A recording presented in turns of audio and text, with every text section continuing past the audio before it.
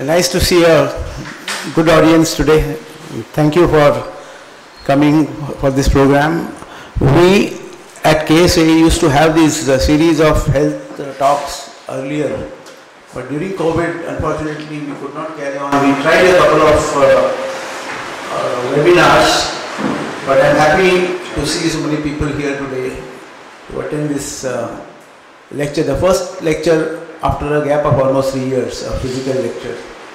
Uh, we are happy to invite and uh, welcome Dr. Arjun Anand Gokani today. He is an ophthalmologist and uh, I leave the main introduction to him, himself because he has got a list of uh, achievements which I might forget. So he will cover them. But as far as I am concerned, he passed from uh, KM Hospital, his MBBS.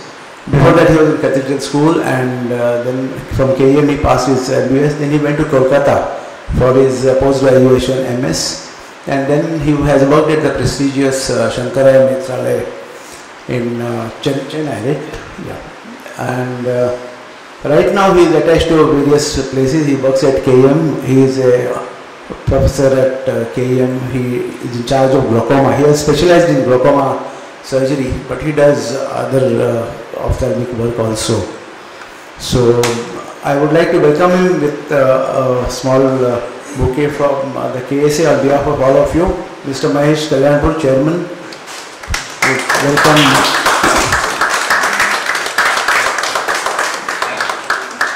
And uh, without wasting much time, I'll uh, hand over the mic to Dr. Arjun Gokani for his talk. Thank you, Arjun. Thank you, sir, for that uh, lovely introduction. Um, first and foremost, thank you for this opportunity and for coming on a Sunday morning. We all know how precious Sunday mornings are. And also for the opportunity for me to come to the health center and check and uh, be the on-call ophthalmologist for you all. It's a great honor to be there. And uh, special thanks to Prakash sir, who literally is like a father figure in my profession. He, his wisdom and his advice has seen me through a lot of sticky situations in my career also. And uh, yeah, so without further ado, let me start. I'll, I'll give a brief introduction about myself first. So as sir said, I, I went to school in Cathedral School. And from 7th standard, it was always, always my dream to become a doctor. From 7th or 8th standard, one of the two years. So when I reached my 12th standard, I realized that I now have to work really hard to get a good seat. So I had to study for the entrance exam. Whilst all my friends were studying to go abroad, I was studying to do the entrance exam. And it did, I had to take a gap year because we had a different board exam and things like that. So after taking a gap year, I was lucky enough to secure a good rank. I came 10th in the state of Maharashtra and then I got into KEM hospital, which we all know is one of the best uh, medical colleges in Maharashtra and in India also. So I started my journey at KEM and through my five and a half years I learned everything there is to learn about the entire body. And yes, there are a lot of fields, there are a lot of uh, branches of medicine that are more life-saving than ophthalmology like cardiology or neurology or neurosurgery. A lot of things that save people's lives.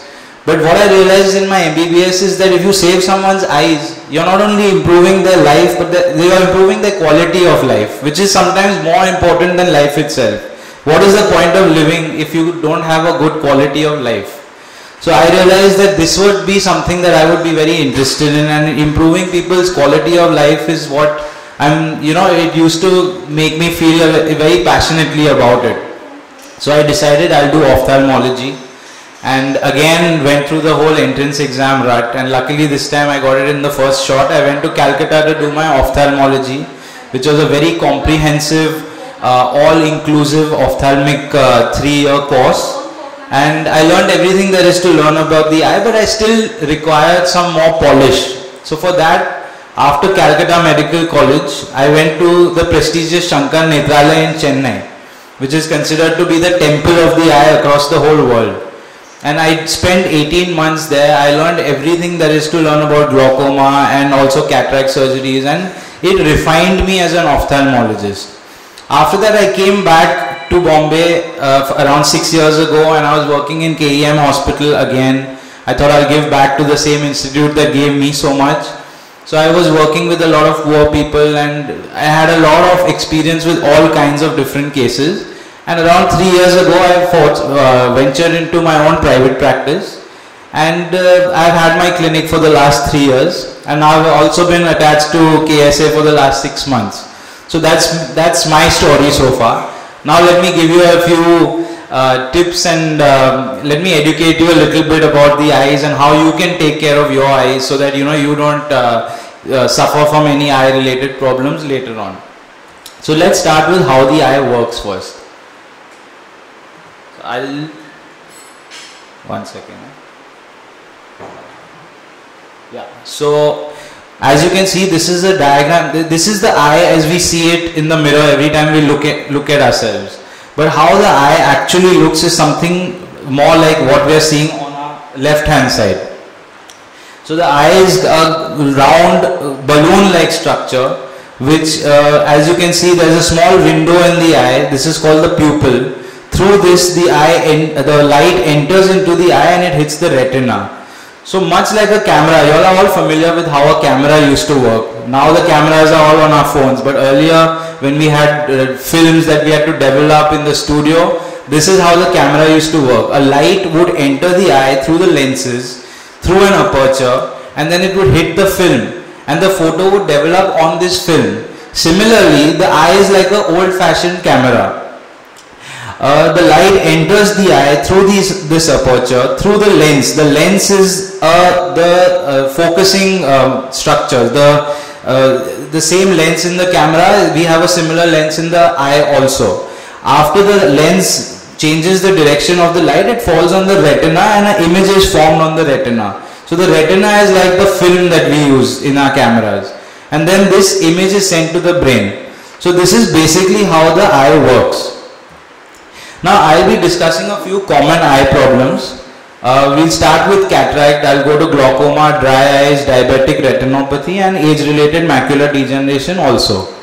So briefly touching upon each of these topics. So what is a cataract? So as I mentioned earlier in the earlier uh, slide, the eye has a focusing uh, structure called the lens inside it. Now that lens has to be clear like glass. What happens in cataract is that glassy like lens it becomes opaque. So it doesn't allow light to go through it. Now as you can see in these pictures this is a uh, lens where the cataract is developing. It's in its early stage. Only the central part is uh, opaque. Whereas this lens on the right side is mature. The entire lens has become opaque. So probably no light is entering inside this eye and the patient is practically blind in that eye.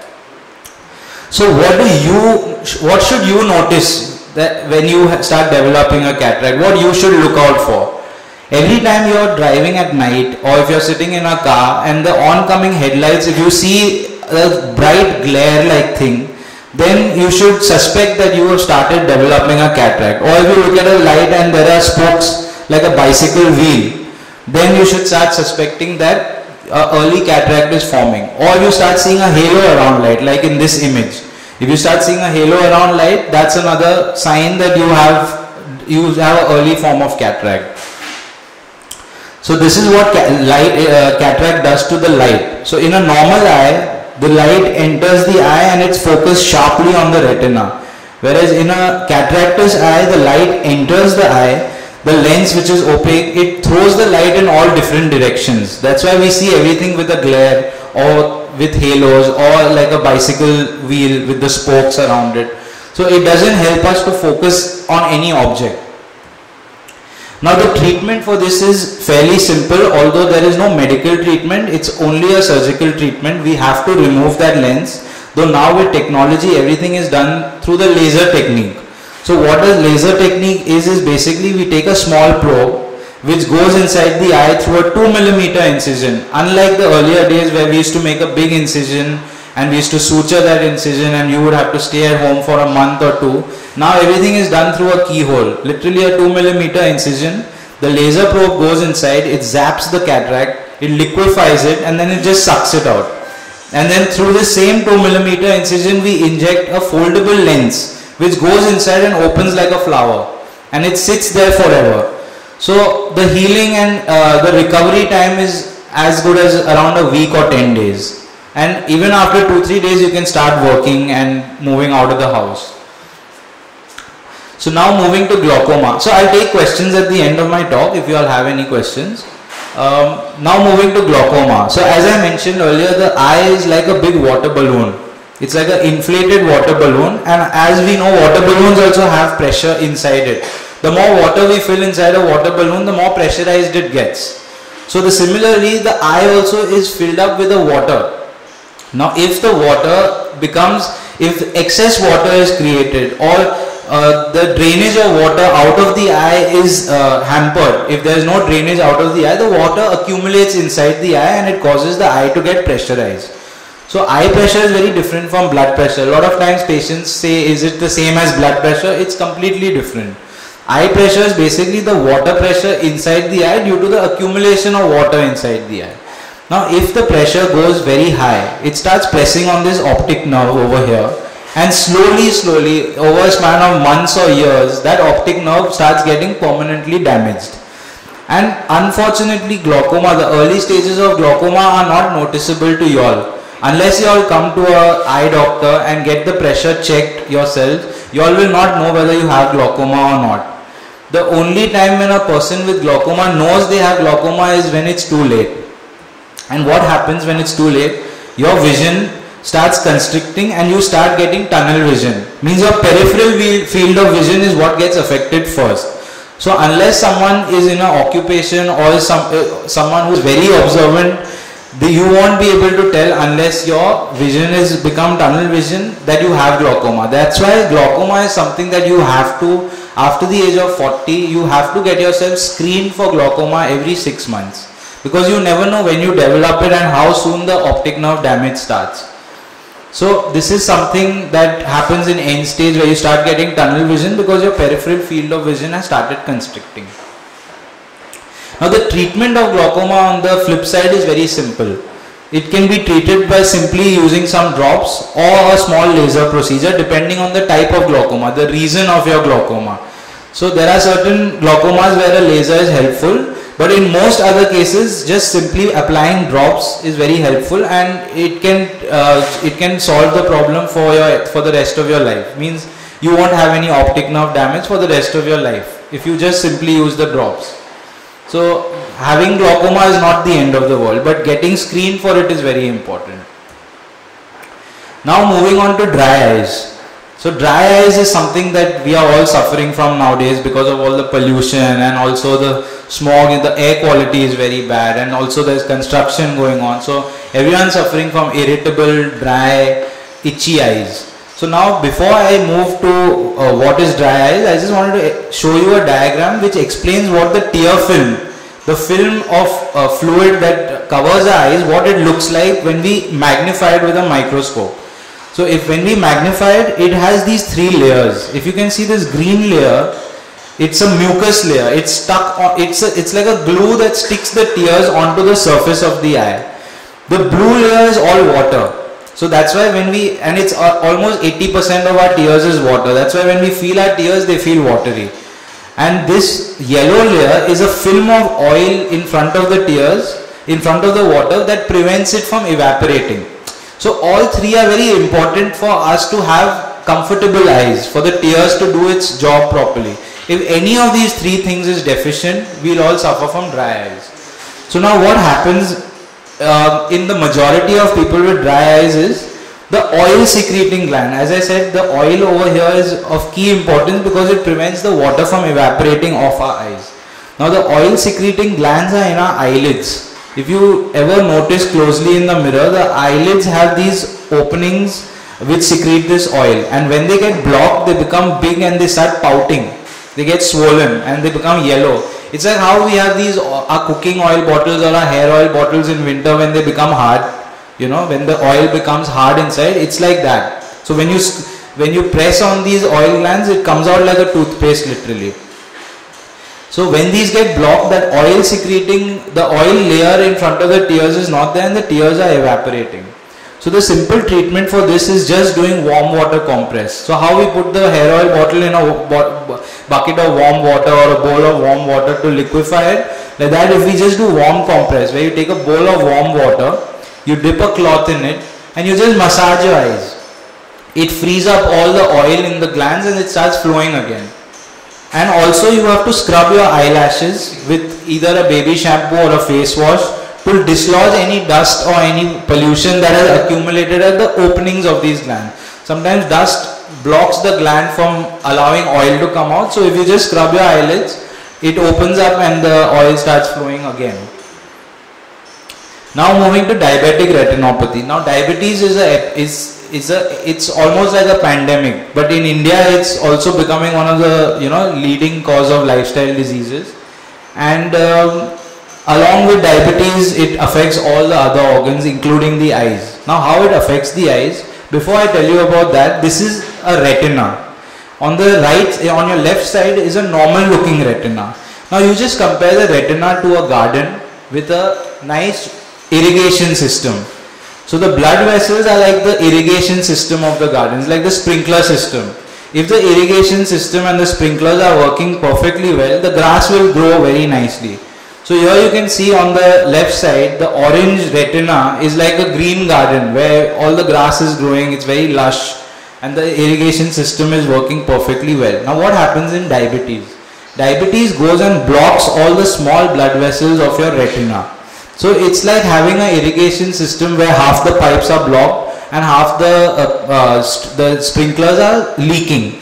So what happens in that situation? The grass will not grow, it won't be green there will be a lot of puddles of water everywhere and the garden will just simply not look very nice. Similarly, in the eyes also you will have these small accumulation of blood, hemorrhages everywhere. You will have areas where the retina tissue has died off because it's not received any blood or any oxygen.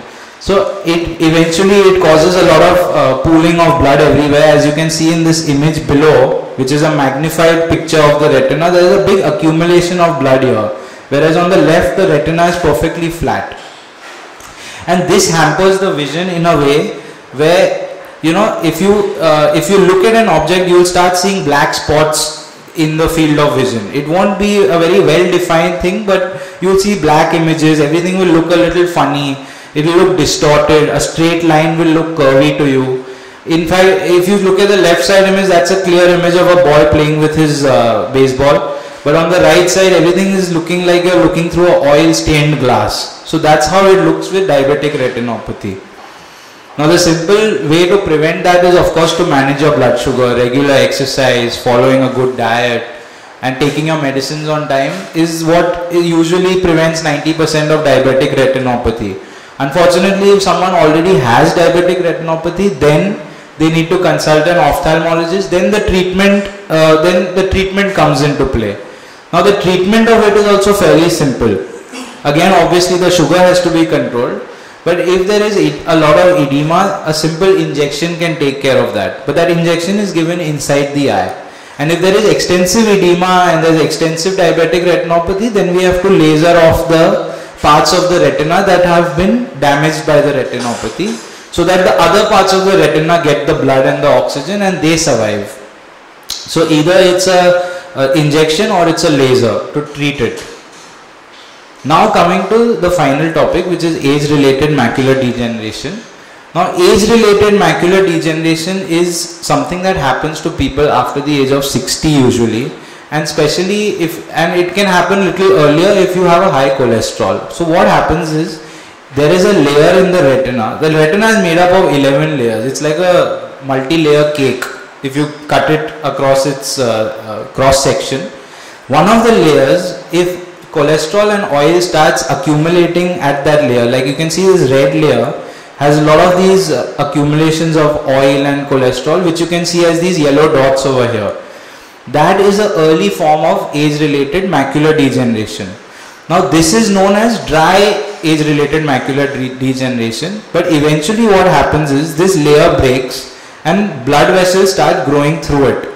Now these blood vessels that grow, they are like newborn babies. They have no control. So the blood is leaking from these blood vessels. It's not, it's not contained just inside the vessel. It's leaking from these blood vessels. and then it becomes a wet ARMD. Now wet ARMD is very dangerous. We do not want a dry to become a wet. What happens in wet is you get large hemorrhages or those hemorrhages can absorb and it can cause a big scar to form in the middle of your eye. And this leads to permanent blindness. Now how to prevent ARMD and how to prevent dry ARMD from becoming wet ARMD. Firstly again it's all lifestyle. You have to have a lot of green leafy vegetables. You have to avoid smoking at any cost. You have to have all your vitamin levels perfect. So it's always advisable after the age of 50 to take some form of multivitamin if the dry ARMD becomes wet and it's in the early stages then we can still treat it by giving monthly injections inside the eye but unfortunately if a wet ARMD becomes very advanced and it's already caused scar tissue there's nothing that we can do. Therefore again after the age of 50 that's the importance of getting your eyes checked regularly. And if you start seeing some distortion in your vision come immediately to get your vision checked so some take home points. Now i don't know if anyone is familiar with this painting. Has anyone ever seen this painting before? It's by a very famous uh, european artist. It's called the starry night by van gogh. So the reason why I, I, I even have this painting hanging in my clinic the reason why it, this painting is so um, it's so uh, symbolic for me is because the artist himself was suffering from cataract when he painted this. Because if you notice these stars, they have these large halos around it. Now back in the day, back in those days in the 1800s and the 1700s, no one had, there was no laser technique of treating cataract. If you got a cataract, you would just live with it. So he was someone who had to live with his cataract. But next time you go out into the night sky, if you look at the stars and if it looks something like this, then do come to the health center for a checkup.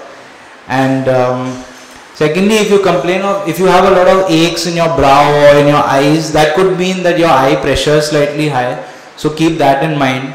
Also keep keep uh, be wary of what your field of vision is. Keep constantly test yourself, check yourself whether you can see things in the periphery of your vision especially when you're driving and things like that make sure that you notice things that are happening on the side because if you can't then it's time to get yourself checked for glaucoma yeah that's my talk for today i'd like to take some questions also. thank you AMRD is bilateral or unilateral? so it happens bilaterally uh, so the question is, is AR, ARMD a unilateral or a bilateral uh, disease? So it happens in both eyes. It might happen more in one eye and less in the other eye. It's not very symmetrical, but it happens usually in both eyes. And phacoemulsion cataract, Yes, sir. is it different than laser? Because there is confusion. So in Laser we think a beam, beam of light. no, so basically laser. So the question is: Is laser technique and phacoemulsification the same? Yes, it is the same. Sometimes non-medical people like to use the word laser. Actually, it's not a laser. It's a very good question. It's actually a very ultrasonic sound energy that we send into the into the lens, which liquefies the lens. It makes it into a liquid or a powder, and then that powder is sucked through the tube of the of the probe. So if in the science uh, aspect, it's not a laser; it's ultrasonic sound. Is there any drainage system inside it gets blocked and all that? Or in the phaco machine? Not in phaco, in general. Yeah, in the eyes, you mean? Yeah. So 360 degrees in the eye, there is a drainage. It's almost like a gutter of the eye, where all the fluid goes and it drains and it goes into the blood.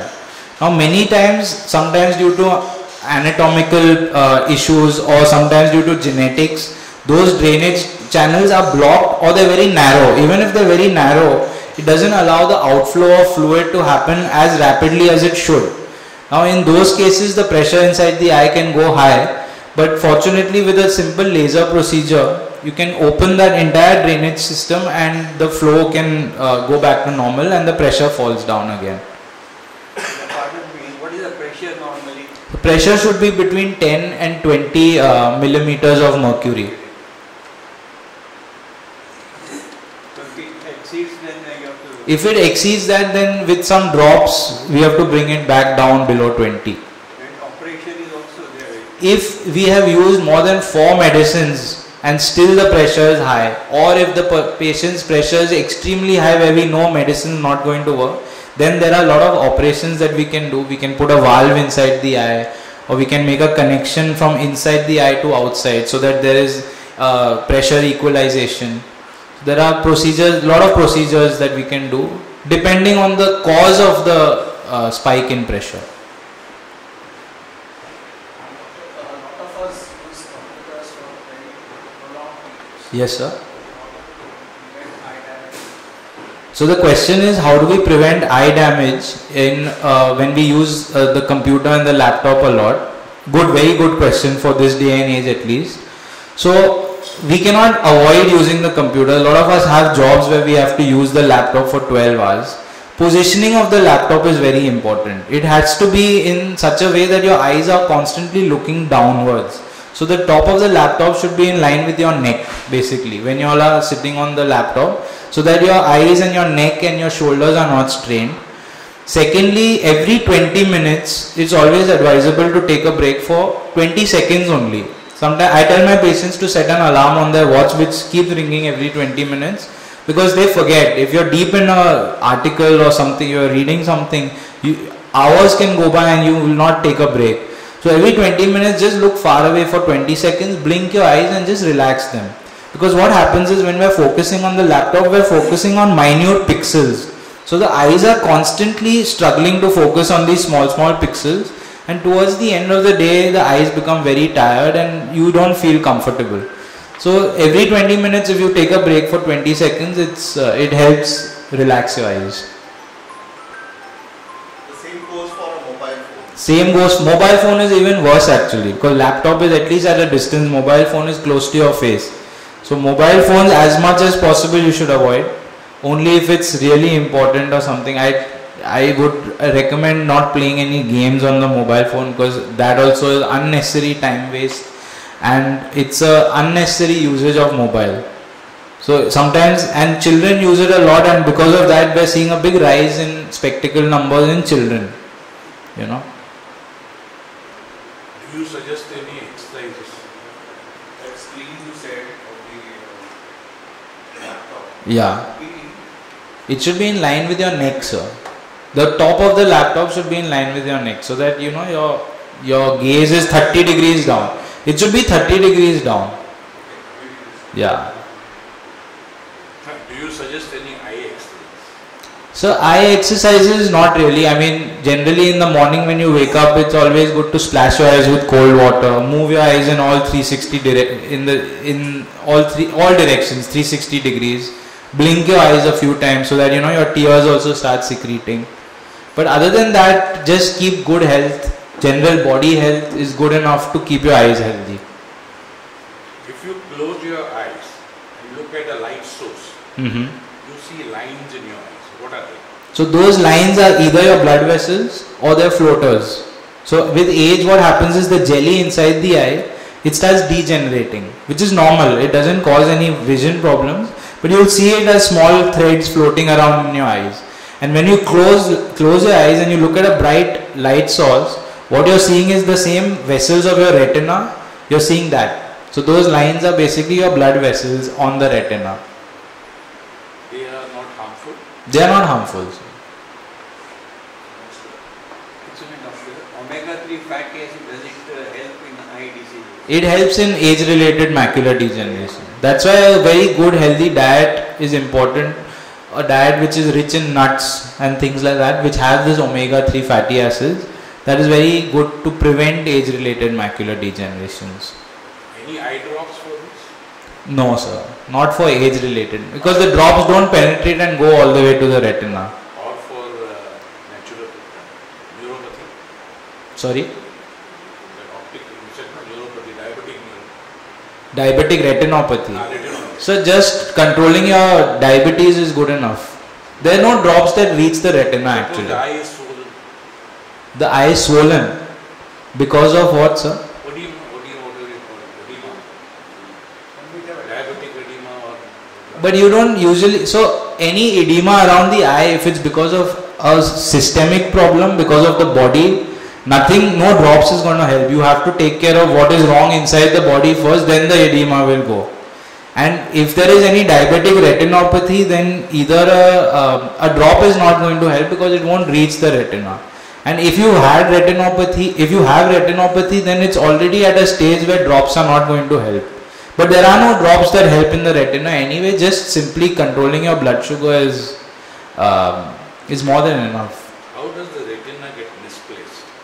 Means detached. Yeah, internal detachment you have not covered. Yeah, so retinal detachment basically happens. So the retina is, is stuck to the back portion of the eye. But every a- anytime there is a trauma or there is some bleeding inside the eye. So when there is a bleeding inside the eye, as that blood is drying, it pulls on the retina. So it tugs it. And the retina is a very thin tissue-like structure. So every time it pulls on the retina, it breaks a small part of it, and then it can finally lead to a detachment. If there is a trauma to the eye, then again it can cause a small hole in the retina. Fluid goes behind the retina through that hole and it lifts the retina. So these are a few reasons why retinal detachments happen. The? Most common form of uh, retinal detachment. So the treatment for a retinal detachment is a surgery, sir. Without surgery, we cannot treat it. But how it is fitted back? So we inject a oil or a gas inside the eye, which pushes the retina back, so it gets stuck again on the uh, back portion of the eye, the back wall of the eye. If the retina is uh, harmed because of some problem, does it generate again? or- So, eh, ma'am, any nervous tissue. So retina is a nervous tissue because it's filled with nerve. So the question is, if any part of the retina is damaged, does it regrow again? So the answer to that is any nervous tissue doesn't regenerate again. So if there is any part of the retina that is damaged, it is permanently damaged. If there is edema on the retina, then we can remove the edema and salvage that retina. But if there is severe damage, if there is some parts of the retina that are dead because there is no oxygen going to it or the blood vessel is blocked, then there is not much we can do to that because it doesn't regrow. Even the optic nerve, if it gets damaged due to glaucoma, it's a permanent damage. It doesn't regrow. Science has not advanced yet to help in regeneration of nerves. The retina cannot be regenerated or transplanted. No, sir, you cannot transplant uh, a retina.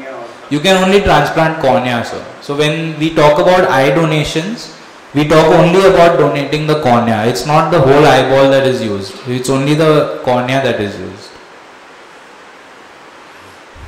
Normally the lens, uh, when we use spectacles, it goes on, the number goes on changing. Yes. But when you do uh, cataract, Yeah. that time only one lens is uh, fixed. Yes. Whether that number also gets. So the reason? So the question is, the question is when um, before a cataract surgery or when we are as we are aging, the number in our eyes keeps changing.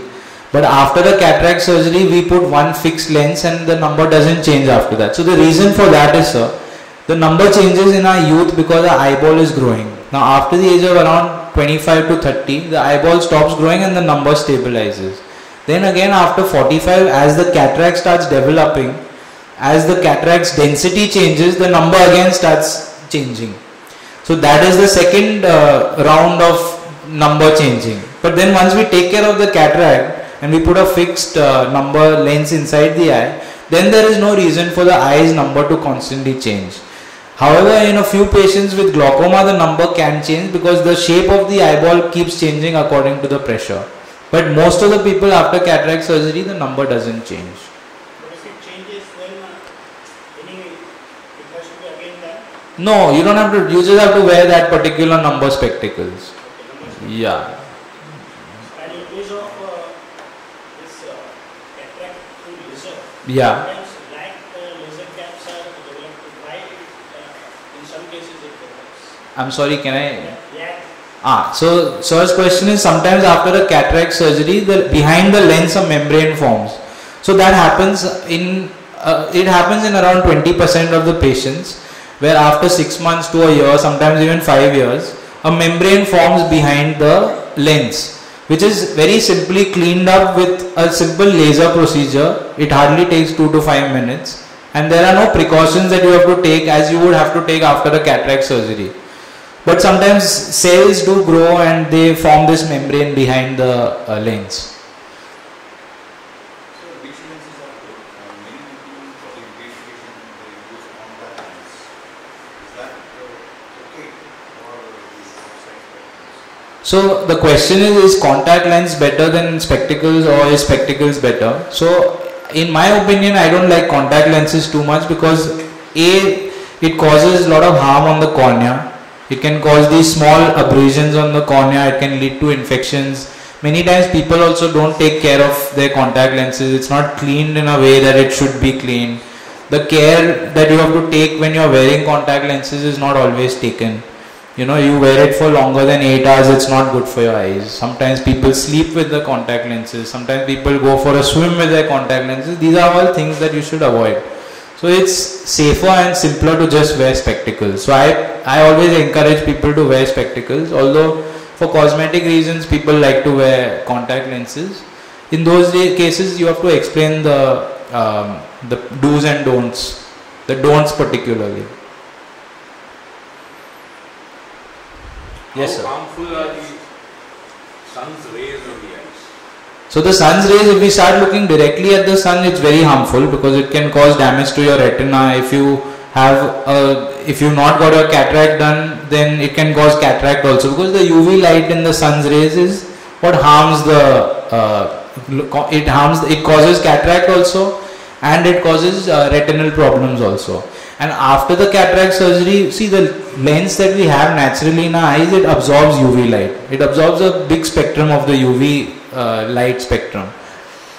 After we remove that lens and we put an artificial lens, it doesn't absorb as much UV light as the natural lens absorbs. So now if you are looking at the sun, then it causes more damage to your retina. So looking at the sun is, uh, I don't advise it. In that case, uh, solar eclipse, you know, Not- you should- Uh, which uh, uh, glass has to be used? Uh, glass. So generally speaking, generally speaking, if there is a so the question is uh, what kind of glasses should we use to look at a solar eclipse? Generally speaking, I'd advise people not to look at the solar eclipse as much as possible because the even though the the brightness of the sun goes down, it's still it's still exposing you to a lot of UV radiation. Although if you really must, then you have to get a high quality UV protective sunglasses and then only look at the eclipse. UV protective, yeah. So you had a question? We have seen a lot of youngsters in their 30s and 40s getting cataract. What is the reason for that? So the question is, lot of youngsters in their 30s and 40s getting cataract. Um, I don't know how accurate that statistic is because it's usually after the age of 50. It's still in my practice in all the hospitals I go to after the age of 50 is when I see cataracts. But one of the reasons could be because nowadays people are getting severe inflammations in their eyes also for a lot of reasons. Even COVID has caused a big it's caused a big question mark in all doctors' minds as to why it's causing so much inflammation everywhere across the body, including the eyes. Anytime there is inflammation inside the eye, it causes a mild, mild amount of cataract also forming. Although I don't know if that statistic is still accurate, whether 30s and 40 people are. Earlier days, we used to hear that only after 60, age of 60 that you get cataract. But in the earlier days, uh, I think this, this is around maybe 40 years or 50 years ago. Yeah, so but then diabetes was not as rampant back then. Now diabetes is happening at at the age of 30 also. Diabetes is a big uh, cause of cataracts forming. So because of lifestyle changes and lifestyle diseases, it's happening earlier. But I will still say it's not happening at 40. It's happening after the age of 50 only. Sir. Has COVID affected eyes? It has affected eyes in terms of it's causing a lot of uh, redness of the eyes. It causes a lot of inflammation inside the eyes. Um, basically, COVID is a very pro-inflammatory virus. So anywhere it can cause inflammation, it's doing that. In fact, the reasons why a lot of youngsters are getting heart attacks is also because their blood vessels are getting blocked because of some inflammatory cause. You see? So it is causing a lot of uh, inflammations as such. Is there any solution for drooping of eyelids? So drooping of eyelids, firstly we have to find the reason why. Sometimes it can be because of some systemic illness like myasthenia gravis or something like that. If it is, then we treat that and the drooping goes away. But simple age related drooping has to be treated surgically only. So we have to prop it up using by doing a surgery. So we do a sling operation where we take a suture and we just pull it up and then we tie the knot. It's all under the skin, so nothing can be visible, but it keeps the eyelids open then. Though they shut also, they shut. What kind of lens do you need to use uh, for cataract after the cataract? Because some people say you need to use uh, Indian lens, some people say that no, you should- So the for there, so the question is what type of lens should we use after a cataract surgery? So there are multiple varieties of lenses. There are Indian lenses, there are foreign lenses. Of the foreign lenses, because they've been the companies that make these foreign lenses are a little more reputable and they've been doing it for so many years. The quality is slightly better. The the science that they use to make these lenses is slightly better. The Indian lenses, having said that, the Indian lenses are also not bad at all. We, I use a lot of Indian lenses, I use a lot of foreign lenses, and of course the foreign lenses is slightly better, but people are happy with the Indian lenses also. Then there are there are differences in the material used. So there are lenses that are uh, water resistant, and then there are water philic lenses. So that also makes a slight difference. But these are all technical things that uh, you know it's more uh, it doesn't affect the quality of vision but how the lens will remain in the eye for the long term it affects that uh, depending on what material you use then there are multifocal lenses and monofocal lenses. Multifocal lenses are lenses that take care of distance vision and near vision. And there are monofocal lenses which take care only of distance vision. Now every patient is different. So every patient requires a different kind of lens. I cannot say that one lens is better than the other. It depends on the patient. If a patient is someone who does a lot of outdoor work and is a say a driver by profession for him having a monofocal lens is always better because he just needs to see things in the distance. For near vision he can use reading glasses. But if there is a someone who is constantly reading something or you know a professional then he might require a multifocal because he needs distance and near both. So it, it's all very personalized to the patient also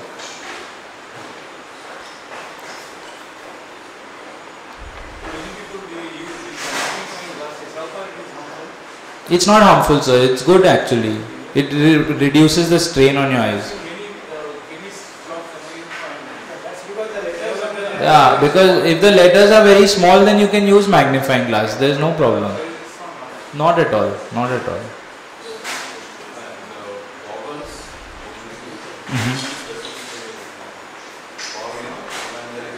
Coldness sunlight, You can use your normal goggles, sir. UV protective UV Yeah, that's better. Always better. Are progressive lenses better? So progressive lenses are very good if you are used to them. Uh, it takes sometimes if you're going, if you're a new user, then it takes around two weeks to get used to. But once you get used to it, people are very happy with progressive lenses, and they look also smarter, so people prefer them. yeah.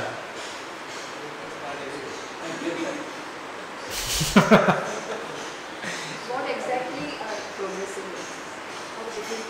So progressive lenses are basically they take care of distance, your intermediate distance and your near vision also. They're like bifocals but there is no line in the middle. So it's a seamless transition of the power. Whereas in bifocal there's clear distance and there's near with a line in the middle. So progressives are there's a it's seamless transition. Okay.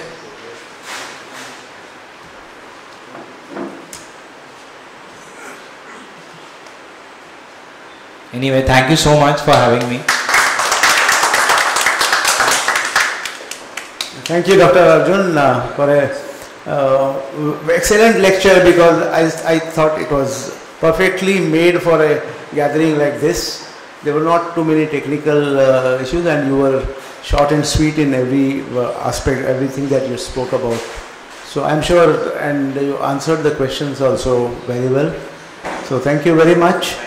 and we hope to see you often. And uh, I'll repeat again that he is uh, attending our health center on every Monday, 5 onwards, 5 to 6. Uh, and we are trying to see if we can add one more day also, if we can get a slot. He would like to come on uh, some other day also. That's what he said, depending on the number of people coming. So, so I wish you all the best. And on behalf of uh, everybody, uh, thank you again. Thank you. Thank you everybody for uh, coming over for this uh, lecture. And I should thank. Uh, uh.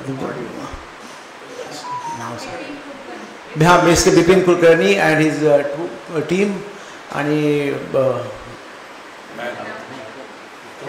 oh, sorry. Uh, I'm sorry I should have taken your names earlier. Uh, I'm poor, poor at remembering names but anyway. Thanks for everything and uh, Shobhan thanks for all the arrangements Shoban and Swati. As usual they last evening we had a long program. Even after that they sat and got things organized. So thanks to everybody and thank you very much